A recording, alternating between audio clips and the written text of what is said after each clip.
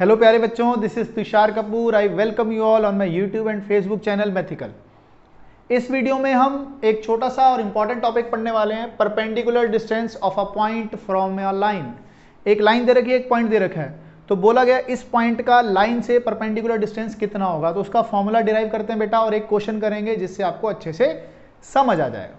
देखते हैं बेटा. अगर हमें बोला गया एक लाइन है A X plus B Y plus C is equal to zero और एक पॉइंट दिया हुआ है P X one comma Y one क्या दिया हुआ पॉइंट पी दिया हुआ है X one comma Y one तो पूछा है, इस पी का इस लाइन से परपेंडिकुलर डिस्टेंस क्या होगा? तो बेटा एक लाइन बना लेते हैं। मान लेते हैं कुछ ऐसी लाइन रही होगी। अब ध्यान दो बेटा, ये डिस्टेंस क्या होगा? ये वो पॉइंट है जहाँ पे स्ट्रेट लाइन एक्स एक्सिस को काट रही है। मतलब यहाँ पे वाई कोऑर्डिनेट कितना होगा? ज़ीरो तो वाई को ज़ीरो रख दोगे तो एक्स कितना आ जाएगा? माइनस सी बाय ए तो इसके कोऑर्डिनेट क्या आएँगे? Minus C by A comma zero similarly यहाँ पे क्या होगा? एक्स ज़ीरो होगा तो वाई कितना आ जाएगा? माइनस सी बाय बी तो हो जाएगा zero comma minus C by B क्या ये बात आपको समझ आ गई है बेटा कि नहीं आई है? बिल्कुल समझ आ गई होगी। ये दो पॉइंट्स आपको पता लग गए, इनको नामकरण भी कर दो इनका। इसको ए बोल दो, इसको बी बोल दो बेटा। अब एक पी पॉइंट हमने ले लिया। जिसके कोऑर्डिनेट्स क्या है? X one comma Y one जिसके कोऑर्डिनेट्स क्या है? X one comma Y one है। अब मैंने क्या निकालना है? इससे एक परपेंडिकुलर डिस्टेंस निकालना है। इसको नाम दे दिया एन समझ आ गई? बस पी एन निकालना में क्या होगा? अब ध्यान देते हैं। कोई दिक्कत है तो बताओ। सही? अब अगर मैं बोलूँ कि मुझे ये निकालना है, मैं निकालता हूँ इसको अब एरिया के हेल्प से। एरिया क्या बोलता है? Area of triangle P B A कितना होगा? बेटा, अगर आपको कोई बोले area of triangle P B area of triangle P B A कितना होगा? वो होता है half into base into height base कितना है बेटा? पी एन जो कि हमें निकालना है। सॉरी हाइट कितनी है? पी एन और बेस कितना है बेटा? ए बी जो हमको निकालना है। तो ये सॉल्व करके कितना आ गया? हाफ़ इंटू बेटा, ये डिस्टेंस कितना होगा? डिस्टेंस फॉर्मूला अगर लगा दें हम तो कितना होगा? C square by A square plus C square by B square का अंडर रूट डिस्टेंस फॉर्मूला लगाना आता है ना अंडर रूट में C square by A square plus C square by B square ये आ गया आपका एरिया कोई दिक्कत नहीं है। अब मुझे एरिया निकालना है। तीनों कोऑर्डिनेट्स मुझे पता है। तीनों कोऑर्डिनेट्स मुझे पता है। क्या आप एरिया का फॉर्मूला लगा देंगे? वो एक लंबा सा फॉर्मूला हमने सीखा था। एरिया फॉर्म निकालने का, अगर बेटा तीनों कोऑर्डिनेट्स पता होते थे एरिया निकालना जानते थे हम तो क्या हो जाएगा? हाफ़ इंटू मॉड सही बात? एक्स वन फॉर्मूला याद है ना? एक्स वन इसको भूल जाते थे। इसका वाई माइनस दिस तो minus C by B plus अब अगला एक्स ले लो। अगला एक्स तो ज़ीरो ही है तो कोई काम का ही नहीं। अगला एक्स ले लो, अगला एक्स कितना है? Minus C by A. Into इसका वाई माइनस दिस तो Y minus this, minus minus plus Y one plus C by B.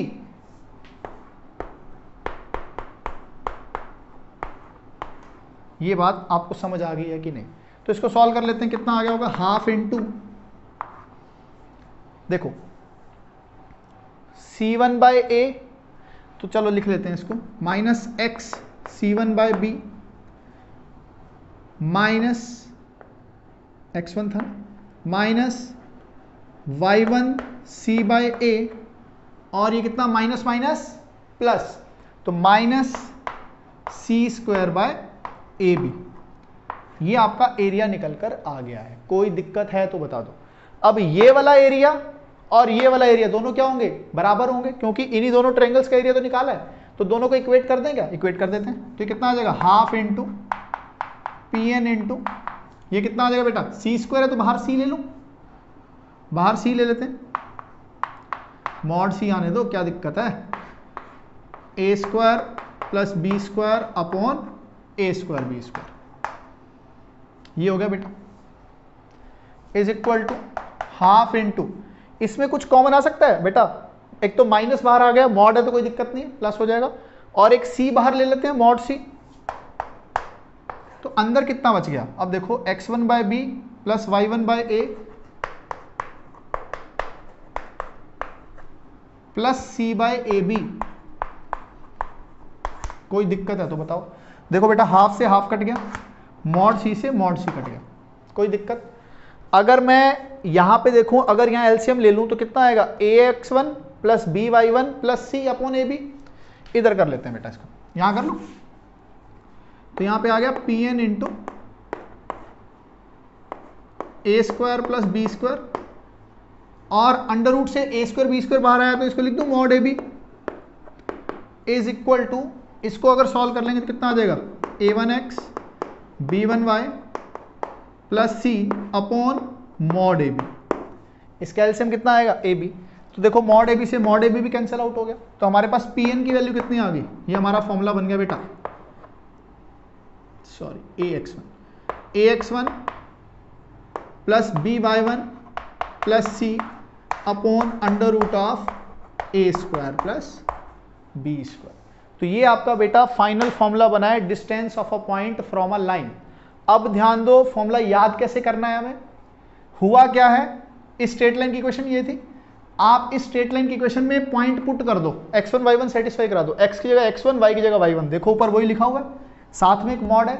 Divided by under root of x के कोफिशिएंट का स्क्वायर प्लस y के coefficient का square a square plus B square कोई दिक्कत है तो बताओ। तो फॉर्मूला एक बार मेरे साथ बोलेंगे सब बच्चे। अगर x1 y1 का ax plus B Y plus C से डिस्टेंस निकालना तो क्या होगा? पॉइंट पुट कर दो। ax1 plus B Y one plus C का मॉड डिवाइडेड बाय कॉफिशियंट का square A square plus B square के अंडर रूट से डिवाइड कर देंगे। तो ये है गीता का सार। ये है काम की चीज़। तो अगर कोई पॉइंट पता है लाइन पता है तो डिस्टेंस निकाल लेंगे। निकाल लेंगे ना बेटा? नोट करो इसको। फिर हम एक क्वेश्चन करते हैं। फिर आपकी अंडरस्टैंडिंग और बढ़ जाएगी इससे। देखो बेटा, चलो इस क्वेश्चन को। कह रहे find the points on Y axis देखो, ये छोटे छोटे कैच पकड़ने हैं। वाई एक्सिस पे क्या होता है? एक्स ज़ीरो होता है तो ज़ीरो को हम अल्फ़ा मान लेंगे कुछ। Whose perpendicular distance from the line this is three perpendicular distance भी दिया हुआ है। अब ध्यान दो बेटा।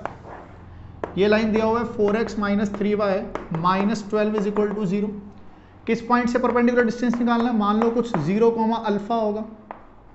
कोई पॉइंट ज़ीरो कोमा अल्फ़ा होगा। तो ज़ीरो कोमा अल्फ़ा का इससे परपेंडिकुलर डिस्टेंस कितना होगा? ठीक? तो परपेंडिकुलर डिस्टेंस का फॉर्मूला हम जानते हैं कितना होता है बेटा?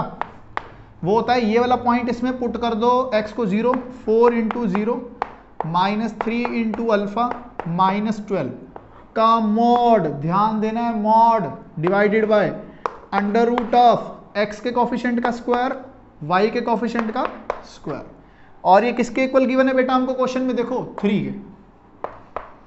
अब ध्यान देंगे। बेटा नोर सोलह पच्चीस पच्चीस का अंडर रूट कितना? पाँच। पाँच इंटू तीन कितना? पंद्रह। कोई दिक्कत? Minus three alpha minus twelve mod है तो क्या हो जाएगा? Plus three alpha plus twelve तो क्या मैं ऐसा लिख सकता हूँ? Plus three alpha plus twelve is equal to कितना बेटा? पंद्रह। हाँ या ना? अब मॉड कैसे खुलता है? एक बार प्लस के साथ, एक बार माइनस के साथ। तो जब ये प्लस के साथ खुलेगा तो कितना? थ्री अल्फ़ा प्लस ट्वेल्व कितना? एक बार पंद्रह आएगा। और एक बार थ्री अल्फ़ा प्लस ट्वेल्व कितना बेटा? माइनस पंद्रह आएगा। समझ आ गई ये बात कि नहीं आई अब यहाँ से अल्फ़ा कितना आ रहा है? Three alpha is equal to कितना बेटा? थ्री। अल्फ़ा की वैल्यू यहाँ से वन आ गई। Three alpha is equal to minus twenty seven और यहाँ से अल्फ़ा की वैल्यू कितनी आ गई?